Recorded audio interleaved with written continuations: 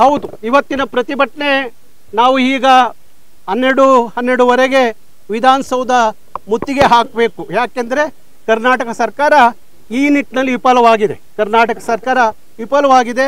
ಸರಿಯಾದ ಕಾನೂನು ಹೋರಾಟ ಮಾಡಲಿಲ್ಲ. ಕಾನೂನಿನ ಬಗ್ಗೆ ಸರಿಯಾದ ರೀತಿಯಲ್ಲಿ ಸುಪ್ರೀಂ ಕೋರ್ಟ್ಗೆ ಅರಿವು ಮೂಡಿಸುವಂಥದ್ದು ಆಗಬೇಕಾಗಿತ್ತು. ವಸ್ತುಸ್ಥಿತಿಯನ್ನು ತಿಳಿಸೋದು ಬೇಕಾಗಿತ್ತು. ಆಗದೇ ಇದ್ದ ಕಾರಣ ಕರ್ನಾಟಕ ಸರ್ಕಾರ ವಿಫಲವಾಗಿದೆ. ಹಾಗಾಗಿ ಅದನ್ನು ವಿರೋಧಿಸಿ ನಾವು ಈಗ ವಿಧಾನಸೌಧ ಮುತ್ತಿಗೆಯನ್ನು ಹಾಕ್ತೀವಿ.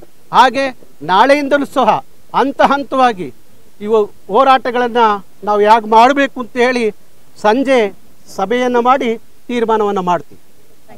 ಕರ್ನಾಟಕ ರಕ್ಷಣಾ ಹಾಗಾಗಿ ನೀವು ಸುಪ್ರೀಂ ಕೋರ್ಟ್ ಎದುರುಕೊಂಡು ಇಲ್ಲ ಕಾವೇರಿ ಪ್ರಾಧಿಕಾರಕ್ಕೆ ಎದುರುಕೊಂಡು ನೀರು ಕೊಟ್ಟರೆ ಜನ ನಾವು ಬೀದಿಗಿಳಿತೀವಿ ಕಾನೂನನ್ನ ಕೈಗೆತ್ಕೋತೀವಿ ಇಡೀ ನಾಡಿನಲ್ಲಿ ಏನಾಗುತ್ತೆ ಅನ್ನೋದನ್ನ ನೀವು ನಿಮ್ಮ ಸರ್ಕಾರ ನೋಡಬೇಕಾಗತ್ತೆ. ನಮ್ಮನ್ನೆಲ್ಲ ತೊಗೊಂಡೋಗಿ ಜೈಲಿಗೆ ಹೋಗಿ, ಜೈಲಿಗೆ ತೊಗೊಂಡೋಗಿ ಇಟ್ಟರು ಸರಿ.